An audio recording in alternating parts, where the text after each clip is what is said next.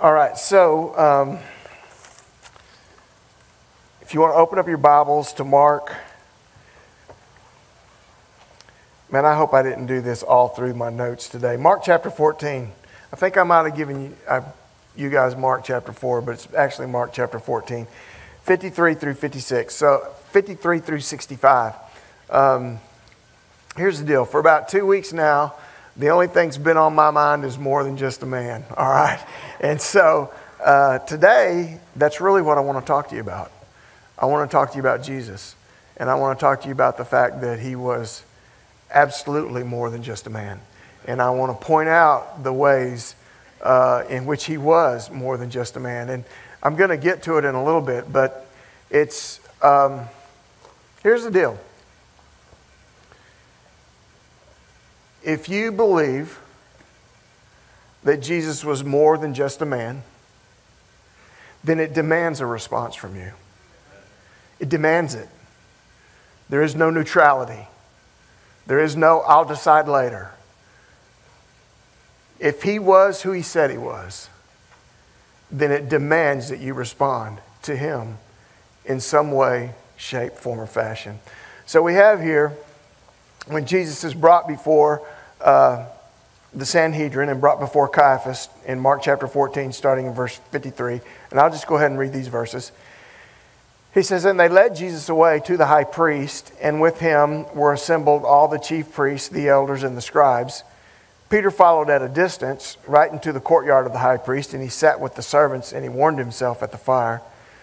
Now the chief priests and all the council sought testimony against Jesus to put him to death but they found none. Many bore false witness against him, but their testimonies didn't even agree. Then some rose up and bore false witness against him, saying, Well, we heard him say, I will destroy this temple made with hands, and within three days I will build up another made without hands. But not even did their testimony agree. And the high priest stood up in the midst, and he asked Jesus, and he said, Do you answer nothing? What is it that these men testify against you? But he, Jesus, kept silent and answered nothing. Can I just interject here for a second?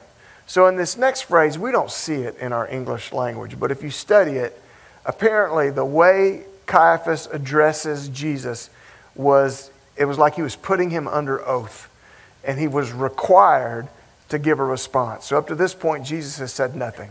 But then the high priest puts him under oath. So, verse 61 But he kept silent and answered nothing. But then the high priest asked him, saying to him, Are you the Christ, the Son of the Blessed? And Jesus said, I am. And you will see the Son of Man sitting at the right hand of the power and coming with the clouds of heaven. The high priest tore his clothes and he said, What further need do we have of witnesses? You have heard the blasphemy. What do you think? And they all condemned him to be deserving of death. And then some began to spit on him and to blindfold him and to beat him and to say to him, Prophesy. And the officers struck him with the palms of their hands. Who was Jesus? Actually, it's the most important question you'll ever answer for yourself in your life. It's not, it's not ask yourself, it's answer for yourself. The most important question you'll ever answer for yourself in your life is who was Jesus. So, first of all, and, and look, I'm just going to apologize. I got, I don't even know. I got so many scriptures as I started out on this. I've tried to pare it down as best I could. If at some point you, I tell you what I'll do. I'm going to clean up my outline a little bit. And if later on during the week or something you'd like a copy of it with the scriptures on it, I'll be happy to print some out and happy to give it to you. And I'm going to, I'm going to be, we're going to be going, and I'm going to be turning to, I don't have them marked, uh, but we're going to be turning, flipping through. Really would like for you to follow along. Guys up there probably do better than I'll do as far as getting to the scriptures on time. But anyhow, so here, here's what I want you to know. Here, listen, I, let me just start with this right here. Make no mistake about it, okay? Jesus said that he was God. All right? Don't miss that. He didn't say he was a great teacher. He didn't say he was a rabbi. He didn't, he didn't say that, that, you know, he was some moral guy, some philo- philosopher. Jesus said that he was God. And so either he was or he was not. And you need to answer that question for yourself. Because if he was, and if you agree that he was, then it demands that you respond to him as God and as the Christ. So uh, Caiaphas asks him. So Caiaphas says, first of all, he says, Are you the Christ? It's the First question. So listen, we use Jesus Christ, we put them together, we use them almost like they're a first and last name. I mean, seriously. But, but what, what I need you to understand is this, this word Christ is not a name, all right? It's really not his name, Jesus Christ. The word Christ is, uh, what's the word I'm looking for? It is, it is a title. It is a title. Literally, we should say Jesus the Christ or Christ Jesus because the word Christ is a title. Literally, it means anointed one. And from the Old Testament, it is the word Messiah. It's the word Messiah. And so they were expecting a Messiah. They were expecting the anointed one, the one that God would send, the one who would be uh, the king of God's kingdom. They were looking for this person. They understand that this person would come one day in some shape, form, or fashion. And so Caiaphas, because he clearly understood that Jesus had been claiming to be this one, God in the flesh, so Caiaphas asked him, Are you the Messiah? He says, Are you the Christ? Listen, the, the, the question is as straightforward as it can be. And the answer is as straightforward as the question. Jesus says, I am. He says, Yes. He says, I am. He says, not only that, but I, I, I, think this is interesting too. He says, but not only that, he says, I am. And after this, you are going to see me sitting at the right hand of the power, the place of the anointed, the place of the Messiah, the place of Christ. He says, You're going to see me seated at the right hand of the power, and he says, You will see me coming on the clouds of glory, on the clouds of heaven. Uh, glory was my phrase. Glory was my word. He said, And you're going to see me coming. Jesus is clearly saying, Yes, I am the Messiah. I am the one that you will see seated at the right hand of the Father. I am the one that you will see seated at the right hand of power. And not only that, but I am the Messiah, the one that you are expecting, and I will be coming on the clouds of heaven, and you will see me. Caiaphas says to him, Are you the Messiah? And Jesus says, You better make no mistake about it. I definitely am the Messiah. Listen, you can't explain that away. Don't let anybody try to explain that away in your life. It was as straightforward and as plain spoken as it could be. And then he calls him the Son of the Blessed. Uh, or he asks him, he says, Are you the, are you the Christ, uh, the Son of the Blessed? Now, here's the reason I want to spend a little time on this is because, again, Jesus claimed to be God. Let me, let,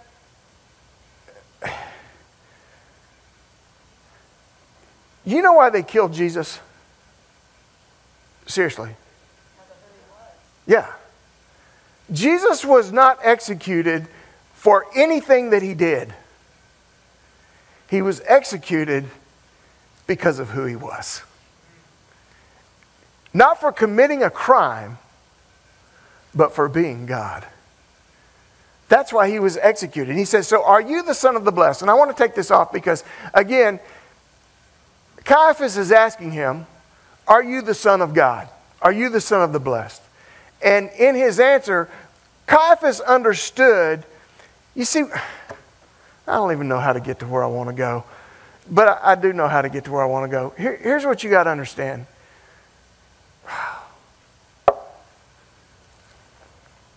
So, in our language, in our culture, if I say I'm the son of Tom Royal, all right? That doesn't mean I am Tom Royal, right? It just means I'm his son, correct? Now, there's a good connection there. Listen, there's a lot of Tom Royal that's in me, all right? I'll be the first to admit that. But I am not Tom Royal. I am Keith Royal. I'm the son of Tom Royal. But I need you to understand, and we're going to look at a couple verses here in a, in a minute that really validate this. When Jesus said that he was the Son of God, it wasn't the way you and I in the English language understand the Son of, God, the son of someone. When he said that he was the Son of God, he was saying, I am God. When he was calling God his Father, he was saying that that's me. Look at John chapter 5, 16 through 18. I can tell right now. Did y'all bring lunch? John, John chapter 5, yeah, we might want to order some pizza. Uh, John chapter 5, uh, 16 through 18. So listen to this. It says, For this reason the Jews persecuted Jesus, and they sought to kill him because he had done things on the Sabbath. So they were mad at him because he was healing and doing stuff on the Sabbath. Uh, but Jesus answered them, listen, and he said, My Father has been working until now, and I have been working. Now look at verse 18. Here's, here's the kicker. He says, Therefore the Jews sought all the more to, to kill him because he not only broke the Sabbath, listen, but also said that God was his Father, making himself equal with God. So, what I'm wanting you to understand is that when he said to them, God is my Father, what they heard him say is that me and God were the same. That's what they heard. That's clearly what John says right there.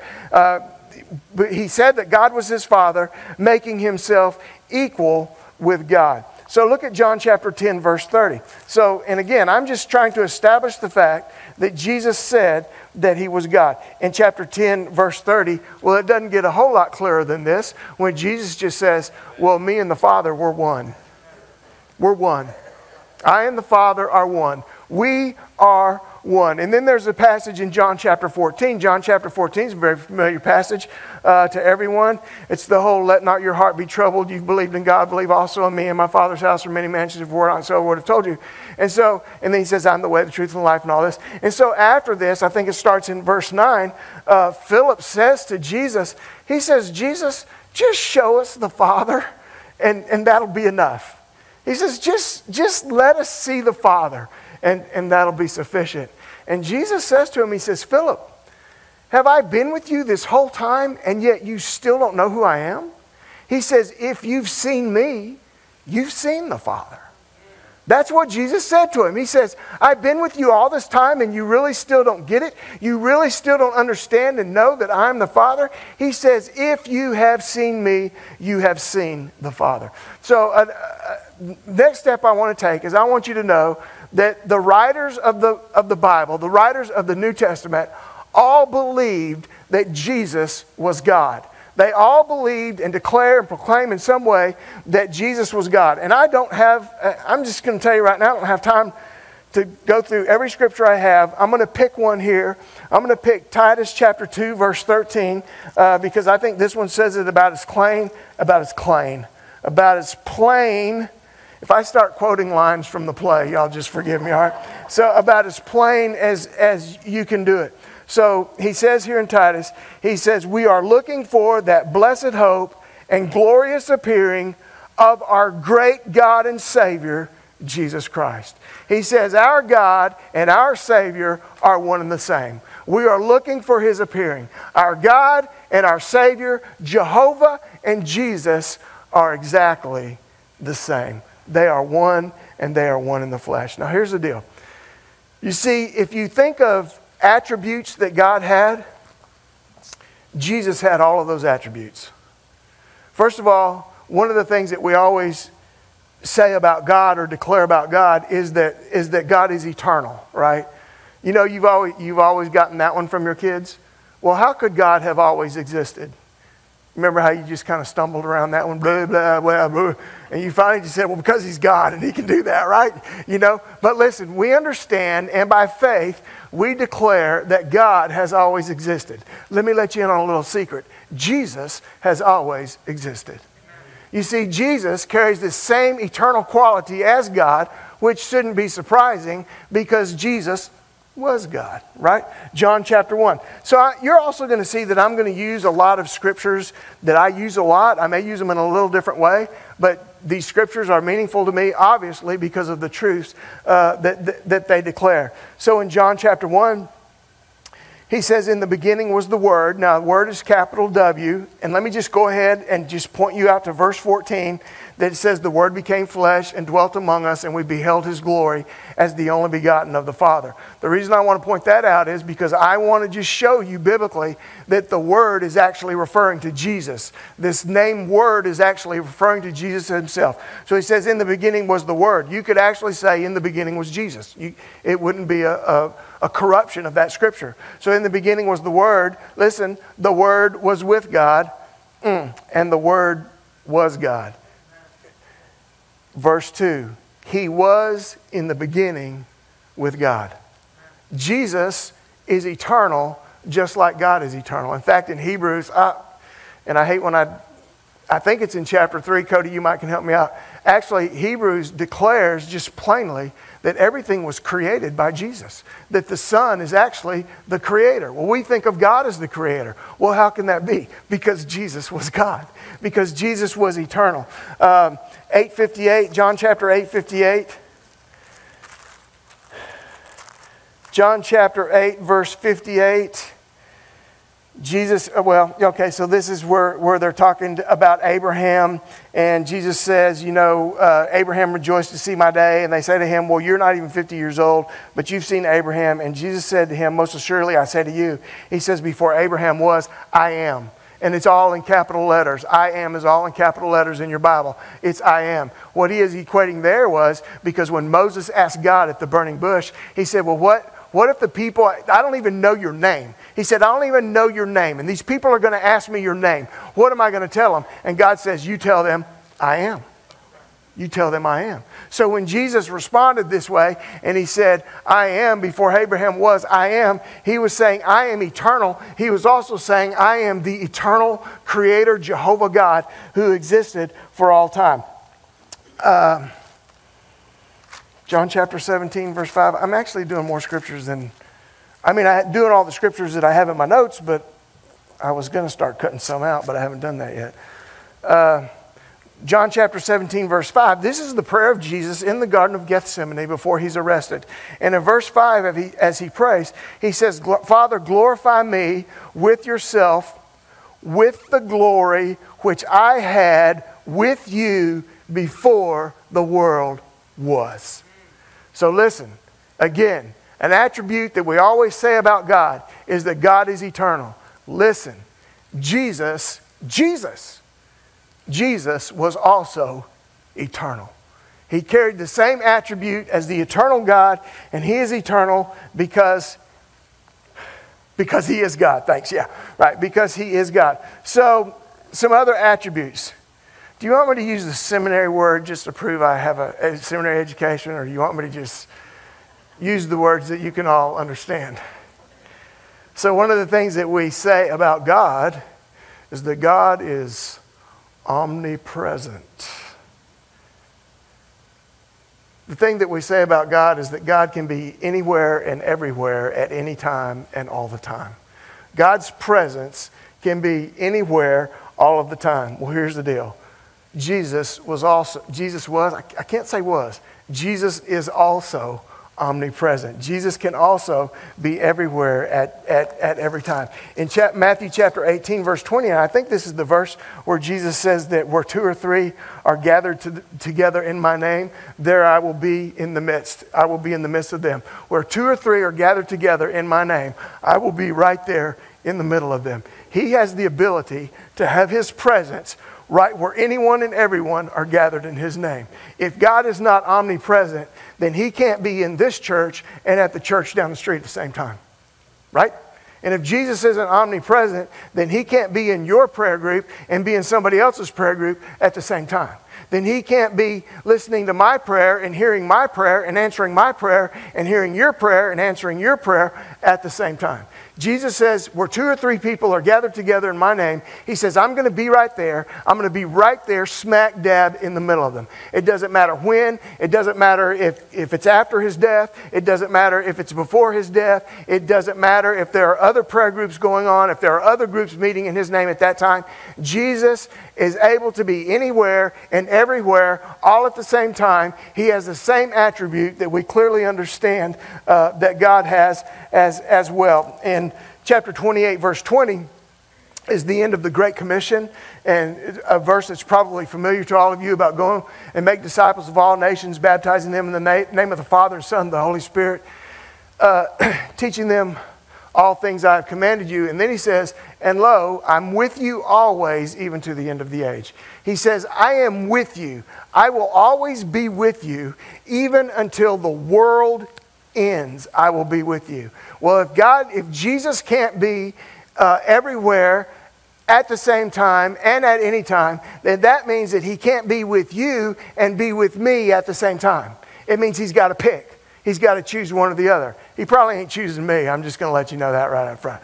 But if, unless he can be everywhere and anywhere all at the same time, unless he is omnipresent like God is, then he can't do that and he can't make that promise. But he does make the promise because he is omnipresent. God, Jesus can be anywhere and everywhere that God is all at the same time. Oh, gosh. He is also, he knows everything. Omniscient, seminary word. Uh, God knows everything. We like to, we understand that God knows everything. Let me tell you something else. Jesus knows everything as well. Jesus has that same attribute of being able to know everything. In John chapter 17, uh, verses 22 to 27, I believe this is the passage. We're there at the temple and everybody's given a tithe. And, you know, Jesus has this little conversation. I think it's with Peter. Um, give me the next verse. Give me the next verse.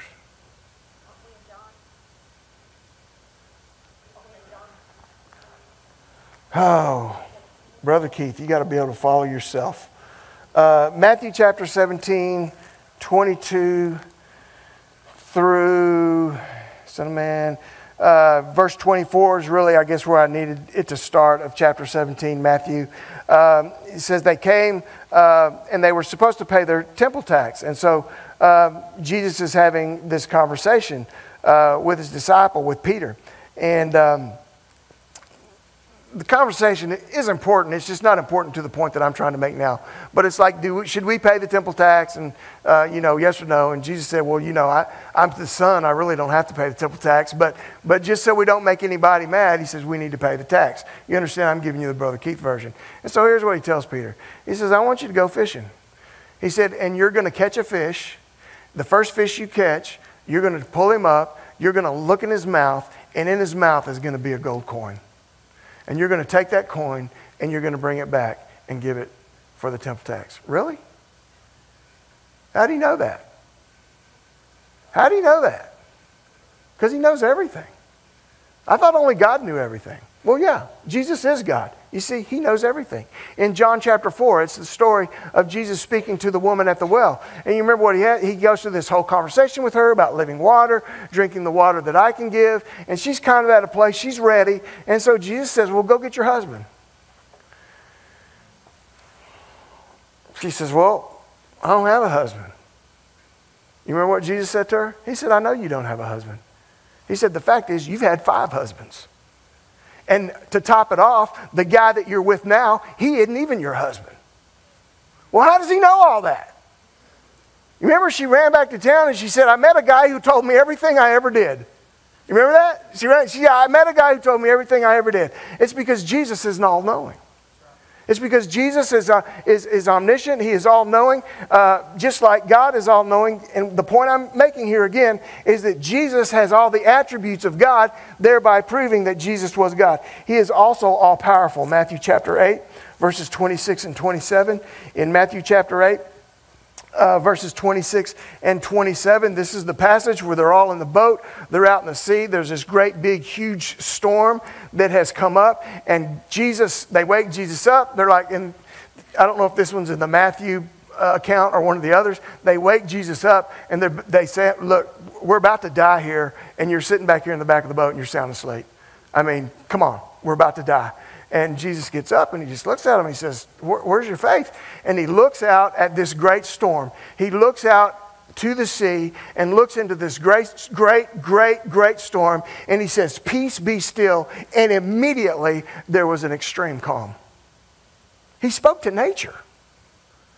He spoke to nature. Uh, and I think they even uh, uh, had some sort of response to that. Verse 27, it says, So the men marveled. They said, Who can this be that even the winds and the sea obey him?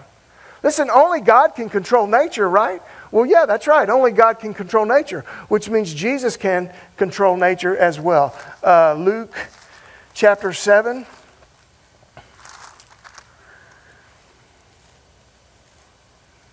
No. Yes, no. Yes, no. Luke chapter 4. Luke chapter 4, 38. This is where he heals Peter's mother in law. Uh, she was sick, she had a fever, came in, he healed her. Uh, Luke chapter 7, let's see, verses 14 through 16. Um, this is where he raised a little boy from the dead. Um, there's a woman, um, it, that, that when they were going, they ran into a funeral procession. Uh, they came near, verse 12 says, they came near the gate of the city. A dead man was being carried out, the only son of his mother. She was a widow. A large crowd from the cry was with her, from the city was with her. Uh, and when he saw her, he had compassion on her and he said to her, Do not weep. And then he came and he touched the open coffin, and those who carried him stood still. And he said, Young man, I say to you, arise. And so he who was dead sat up and began to speak, and he presented him to his mother. He raised the dead. Jesus raised the dead.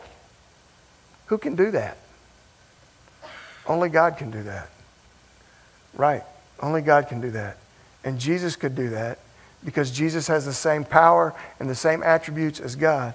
And the reason is because Jesus was God. Let me, let me start really kind of cutting to the chase.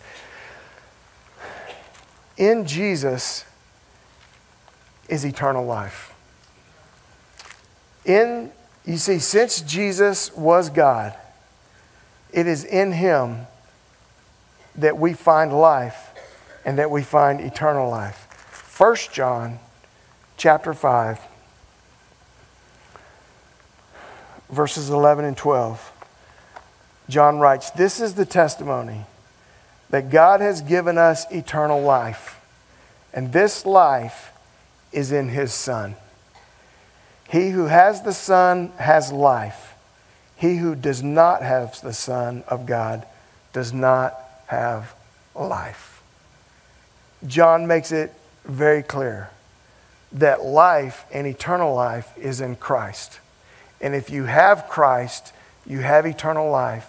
And if you do not have Christ, then you do not have eternal life. Who was Jesus? Who was he? So Jesus says, Thank you, brother. So Jesus was walking along with his disciples one time uh, in Matthew chapter 16. And he says, Who's everybody say that I am? And they say, Well, some people say you're John the Baptist. Some people say you're Elijah. Some people say you're Jeremiah or one of the other prophets. And he said, Okay, well, who do you say that I am? And Peter said, You are the Christ, the Son of the living God. When he went and met Mary and Martha at Lazarus' death, and he was having this conversation with Martha because she was saying, You know, if you had been here, Lazarus wouldn't have died. And even now I know that you can do whatever you want to do. And, and, and Jesus said, You know, your brother's going to rise again. And she said, Well, I know he'll rise again, the resurrection at the last day. And Jesus said, Well, I am the resurrection and the life. And he says to her, He says, Do you believe this? And she says, Yes, Lord. I believe that you are the Christ. I believe that you are the Messiah, the Son of the living God. Martha came to believe. Peter came to believe. Martha came to believe. In John chapter 1, verse 49, Nathanael comes to believe. It's when uh, Jesus met Nathanael. This is real early. This is in the calling uh, of the disciples. And he, and he met Nathanael and he says, You know, um, here comes an Israelite in whom uh, there, is no, there is no guile. And Nathanael is kind of like, Well, how do you know me? And, uh, and then Jesus tells him in verse 48, he says, Well, I saw you when you were still sitting under the, the fig tree. Nathanael's kind of creeped out by it, not creeped out by that. He understood that there was something very significant there. And he said to him, Rabbi, he says, You are the Son of God. You are the King of Israel. He came to believe. Thomas, Thomas, you remember Thomas, right? Thomas, when they told him everything, they told him that Jesus had been resurrected and they told him all that stuff. And Thomas was like, mm, unless I can touch those wounds in his hands, unless I can touch that wound in his side, he's just like, I just, I just can't believe. So in John chapter 20, uh, starting in verse, it starts in verse 24, but I'm going to start it, I'm going to start in verse 26 after he said all those things. Then after eight days, uh, his disciples were again inside, and Thomas was with them. And Jesus came, and the doors were shut, and he stood in the middle of them. And He said, Peace to you. And then he spoke directly to Thomas. He says, Reach your finger here. Look at my hands. Reach your hand here. Put it into my side. He said, Do not be unbelieving, but believing. And look at what Thomas said. Thomas answered him, and he said, My Lord and my God. Thomas came to believe. Jesus came to Peter came to believe, Martha came to believe, Nathaniel came to believe. They all came to believe that Jesus truly was God. And here's the deal when you believe this, you have to believe what Peter said when Peter stood up in Acts chapter 4 and in verse 12, and he was preaching to all those people in Jerusalem and Judea uh, who were gathered there in Jerusalem on the day of Pentecost. He said, There is no other name given among men by which you must be saved other than Jesus Christ. There is no other name given among men by which you must be saved. Uh, I believe it's Luke chapter 7 is the passage. It might be uh, Mark chapter 2. There's the passage uh, that I always use about the disciple, about the, the guys when Jesus was teaching, and the guys brought their crippled friend, and uh, they brought him in and they let him down uh, through the roof of the house. Um, it, this is in, it's in Mark chapter 2. It's Mark chapter 2 starts in the very beginning. They let him down through the roof of the house. He's crippled. Jesus looks down at him, and Jesus says to him, Your sins are forgiven. That's what he says to him. He says, Your sins are forgiven. And everybody started being like, Well, who can do that? Only God can forgive sins. How is he forgiving sins? Only God can do that. And he looks at him, and I'm just going to give you the Brother Keith version of, of, what, of what he says there in that passage. He says, Look, I just forgave this man his sins. Now I know you can't tell. I know that you can't look at this man and tell that his sins are forgiven. I get it. He says, So just so that you'll know that I actually do have the authority and the power to forgive sins, just so that you'll know, watch this. He didn't say, Watch this. I like to think he did, but he didn't. He said, But just so you'll know that I actually am the one who forgives sins. He looks at the man. He says, Stand up, pick up your bed, and go home. And the guy stood up and he picked up his bed and he went home. You see, Jesus was God. He has all the attributes of God. He did only the things that God can do. All of the disciples, all of the writers of the New Testament understood that he was God. and, and listen, just stop trying to explain a separation. Jesus Christ Jesus the Christ was Jehovah God in the flesh. He was God in the flesh. He was Emmanuel, God with us. Jesus was God. So the question is do you believe that? And if you believe that, then what are you going to do about it? You see, it demands a response. See, here's where it starts getting spiritual and almost unexplainable. But Jesus told Nicodemus, unless you're born again, you can't see the kingdom of God. And unless you're born again, you won't enter the kingdom of God. And he went on and talked to Nicodemus. He said, It's being born of the Spirit. You are being born of the Spirit. The Spirit of God and the Spirit of Christ comes and lives inside of you. Well, how does that happen? You have to understand that you are a sinner. You and I, both of us, all of us, we are all sinners. We have all failed God. We have all gone away from God. And we need the forgiveness of God. And so we understand the gospel that Christ died for our sins according to the scripture, and that he was buried and that he rose again the third day according to the scripture. That Jesus Christ Jesus the Christ. I got to stop saying Jesus Christ. I got to start saying Jesus the Christ. That Jesus the Christ was God in the flesh, taking our sin upon him, taking it into the grave and coming back alive, and thus leaving our sin in the grave and coming back, showing that we too would have eternal life. And when you can acknowledge that you are a sinner, and you can come to God and say to Him, I am a sinner. And I believe that the only way to have eternal life is through your Son, in whom there is eternal life, and through the gospel that He died and was buried and rose again. And I will completely, completely trust in that. What happens then is that God sends the Spirit of His Son to live inside of you. You are born again, whether you understand it or not, whether you got it or not. You were different, and that's all you knew. There was something different. God sends His Spirit to be inside of you, and you become a child of God. Who do you say that Jesus is? And now, what are you going to do about it? Stand up with me if you would. I appreciate your patience with me this morning and allowing me to come through that. But the message is so clear, the message is so important. The most important question you will ever answer for yourself in your life is the question that Jesus asked his disciples Who do you say that I am? It's the most important question you'll answer for yourself. The thing is, the enemy's going to start distracting you into who you are. Forget it. It's not about who you are. It's about who is He. Who is He? It doesn't matter who you are. Who is He? And how are you going to respond? Uh, if you need to come forward this morning for any reason, if you'd like me to pray with you, I'd love to. If you want to come kneel at the altar and pray, you do that. If you need to, if you need to receive God's salvation, uh, come and talk to me about that. I'll be happy to pray with you about that. Whatever you need to do this morning, you do it right now while we sing.